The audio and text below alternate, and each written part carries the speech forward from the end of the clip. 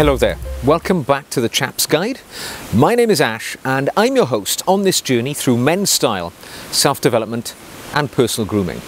Now today you've joined me in a rather blustery autumn day here in southern England and I wouldn't ordinarily make a film in these environmental circumstances but this particular film has uh, some time sensitivity because a viewer has written to me with a question which I really need to answer very quickly. Uh, and I will read the question to you right away. So this is a question from John, John Stokes, and uh, he writes to me to explain to me that he's just putting the finishing touches to an outfit he intends to wear to pay respects uh, to our late Queen when he goes to visit uh, her lying in state in Westminster Hall in the next couple of days.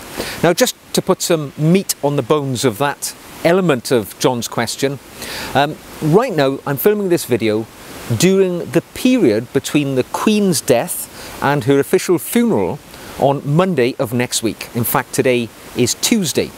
Uh, and I believe it's on Thursday, a period of lying in state will commence in London. So the Queen, who died in Scotland last weekend, will be conveyed to London, where her mortal remains, contained within her, her coffin made of English oak, will lie in state in Westminster Hall. Now, Westminster Hall is a, an iconic location where monarchs of uh, many generations have lain in state before their official funerals. The hall itself is historic in every sense. It is over 900 years of age and uh, it is part of the Palace of Westminster, which also houses the House of Commons and the House of Lords, the parliamentary system of the United Kingdom. So on Thursday, as I say, the Queen's mortal remains will be placed in her coffin on a catafalque in the middle of the hall. Uh, on top of that coffin will be the, uh, the Royal Standard, so the Queen's personal official flag, and on top of that will be the sceptre and orb. These are sort of uh, instruments of the office of monarch. And of course, the imperial crown will be centre place on top of that coffin. Now, the imperial crown is the, the source of the, the sort of the, the actual element of royalty, the crown itself. Contained within the imperial state crown is the Cullinan II diamond, one of the largest diamonds in the world. It weighs 317 carats and it is an item which can truly be said to be really priceless. Uh, also on that crown is the, the Black Prince's ruby, which uh, weighs something to the tune of 170 carats. It's a striking uh, gemstone, which is such a prominent part of the imperial state crown. Now, when the monarch lies in state, the purpose of the lying in state period is to allow subjects, loyal subjects of the monarch, to process through the Great Hall to be able uh, to pay their final respects to, you know, the, the, the recently deceased sovereign before the official funeral, and of course they will go then to their eternal rest. And in the case of our Queen, she will return to the side of her husband of 73 years, the Duke of Edinburgh, Prince Philip, and I believe she will be interred in Windsor. But for four days and nights, she will lie in Westminster Hall. Her remains, as I say, guarded by soldiers from uh, regiments which serve the household, the royal household, so forever in their protection and members of the public can process through, like I say. Now, as you can imagine, this is a historic and an iconic period in British history. The longest reigning monarch in the history of the British Empire, a thousand years. Uh, and of course, many people wish to play a part in that, that whole ceremony. It's understood that around about 750,000 people will seek to take the opportunity to pay their final respects by going into Westminster Hall. Now the queues are going to be miles in length and the authorities have told people to expect to wait anything between 17 and 35 hours in that queue. Now the queue itself uh, has had special arrangements made, you know, all cafes, public houses, um, churches, everything like that on the route of the queue, which is going to be some five or six miles, um, have got special permission to be open 24 hours a day because the paying of respects will be 24 hours a day. There's no rest here. We've got four days to have this opportunity to pay our final regards to our, our sadly um, deceased monarch. So the queues are in, will be in place very soon. I'm sure people are beginning to queue already. But John, uh, well, he's a British gentleman. He's a, a, military veteran. And he writes to me telling me, um, I've put to together a disposable bag containing a pressed shirt, toiletries, barley sugar sweets and water. Uh, I intend to shave on the hoof as he may wait, of course, in the queue for, you know, maybe two days. It's a heck of an endeavour to get there. Um, and he will throw away the bag once he's dressed uh, before he enters the hall. So he's opted to wear a bespoke two-piece suit with bulled Oxford shoes. Um, he will be wearing his medals, but not regimental tie, so we know he's a soldier, or former soldier, uh, because he'll be wearing a black tie, as are most of us here in the UK at the moment, as an act of remembrance and respect, obviously, uh, for the death of our fallen monarch. Um, he'll be wearing a cashmere overcoat to keep the weather out because he'll certainly be waiting there overnight. It is truly something of a pilgrimage, you know, to go and undertake this act. Now, the real crux of John's question here is because he says, I am at an impasse over what hat to wear. I have a choice of fedora, Homburg, bowler, all are black in colour. I'd like your advice, please. I should say uh, I have hard and soft versions of the Homburg hat. I like the look of the bowler because it's typically British and lends itself to most occasions. However, I'm conscious I was never an officer in the army and perhaps may, people may think I'm trying to be a little above my station. So, that's the question which John has asked us to help him with, actually, to support him with. And yes, you know, I, first of all, I want to say, John, I wish you all the very best in that endeavour. I truly wish that I could be part of that process of people who will go and pay their final respects to the monarch.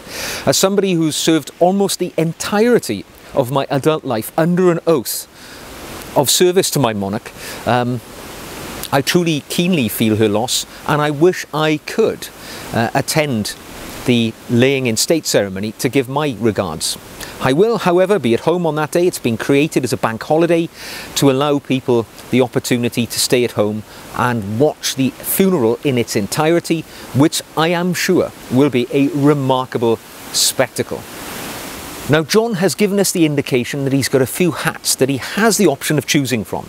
Um, a trilby or a Homburg, whichever you may choose, always a good choice for a formal event. I think the trilby um, is it cuts a nice balance between being very formal and acceptable in the casual world today. So definitely an option. The Homburg hat. Now, probably the most formal hat that most people will own and wear in the modern era. Um, I own a Homburg, I've got a couple of Homburg hats actually, and to be honest, I would feel a little conscious if I was wearing this out today because these are well, it was the hat chosen by Winston Churchill during the Second World War, and they tend to have fallen somewhat into abeyance. I do love them. I think they are an excellent hat. And you could easily pull it off in London because it is such a sartorially cosmopolitan location. You could wear anything. But for me, without question, there is only one hat which would cut the mustard for a royal situation. And that is, of course, the good old bowler hat the bowler hat is perhaps probably the hat which is most emblematic of Britishness. And its history, of course, goes way back to 1849 when the bowler hat was commissioned by the first Earl of Leicester because um, gamekeepers on his estate and he obviously provided the uniforms for his gamekeepers. They kept getting their hats knocked off their heads by low hanging branches in the forestry, and those hats were damaged. And of course, the Earl would have to pay for the liveries and the uniforms of his staff. So he asked his agent to go in to the best hat makers in London and commission a hat which would be specifically suitable for that situation. And the bowler hat is what came of that commission. Um, the hat makers he went into is still in existence today. It is renowned as being the best hat maker in the world. It is, of course, Lock and Company in St James's of London, and of course, they still make the best bowler hats in the world. And the hat was designed by William and Thomas Bowler, hence the name bowler hat. From the point it was accepted into service by the first Earl of Leicester, it has become one of the most popular hats in human history. And, uh, you know, for good reason. It is robust, it is tough, it is capable. My understanding is that when the, the Earl's agent returned to Lock & Co. to check out the viability of the, that newly designed hat, the first thing he did was to put it on the floor and stand on top of it to ensure that the hat would withstand the weight of an adult human being. It did, and the hat obviously from that point on became part of British history and society. And of course that spread globally. Um, famously, the bowler hat, often referred to as the derby hat in America, uh, was the most commonly worn hat by those individuals that we tend to refer to today as cowboys, the people who were frontiersmen in the Old West. Um, very often it's seen in images of um, Billy the Kid and Butch Cassidy because this was the preferred hat of people in that era because of its practicality. The rather short brim means that it wouldn't get caught by the wind and whipped off your head as you were perhaps riding your horse on the range or whatever. Uh, and it's incredibly robust. It's tough and rugged and it'll take a knock. It doesn't get damaged easily. And as I say, even on a blustery day like today, I've no fears of the hat being whipped off my head by the wind around me because it sits firmly on the head and it is just such a practical item. But of course, its greatest attribute for us in this conversation is the fact that it is probably the most synonymous hat with Britishness. It's seen on the heads of, you know, the famous, the great and the good, from Winston Churchill to pretty much every member of the royal family. And part of its association with royalty is also what makes me think that this would be the perfect hat to wear. You often see images in the past of the Duke of Edinburgh wearing a, bowling, a bowler hat in many occasions. Um, our new king, of course, often wore a bowler. And even our future king, uh, the Prince of Wales now, Prince William, often was to be seen wearing a bowler hat. Now I understand your concerns about wearing a bowler hat and the fact that you're a military person because it's quite common to see military officers wearing bowler hats when they're in civilian attire, maybe attending Remembrance Parade and such other events. Don't be concerned, all right? The bowler hat was the common man's hat from the very beginning. It's been subjugated to a degree by the upper classes. And the reason why officers often wear the bowler hat uh, in such occasions is because prior to the First World War, the bowler hat was the normal hat of wear for gentlemen in London and hence officers visiting London for non-regimental or regimental duty were expected to wear a bowler hat so they would be properly attired when visiting the capital city. But believe me, the bowler hat is the ordinary man's hat, and you should and could wear it for any situation. And I think, above all, the bowler is somber and appropriate for a funeral particularly of royal status as you find yourself about to attend. So for me, there is no question. The bowler hat would be my hat of choice. Can I say, John, most sincerely, I wish you all the very best in your noble endeavour to pay your last respects to Her Majesty the Queen. We can't be there, so perhaps in those brief moments that you have as you process through Westminster Hall, you can pay your regards to her on our behalf too, and that would be an amazingly gentleman thing and a chap thing to do. And I'd love to hear about it when you return back. Drop me an email. It would be great to hear. And I will update everybody, uh, perhaps with your, your tales of what that situation was like for you. So as I sit here now in the rain, but protected by my wonderful bowler hat, just another attribute of why the bowler hat is so good. It's protective against the elements. Um, I will wish you well. Thank you very much for tuning in today. If you've enjoyed the video, don't forget you can give it a thumbs up.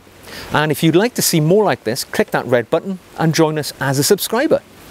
If you'd like to support the channel, you can of course, as ever, buy me a coffee, which would be gratefully received. But until the next time, wear your own hat with pride and passion, and I will see you again very soon.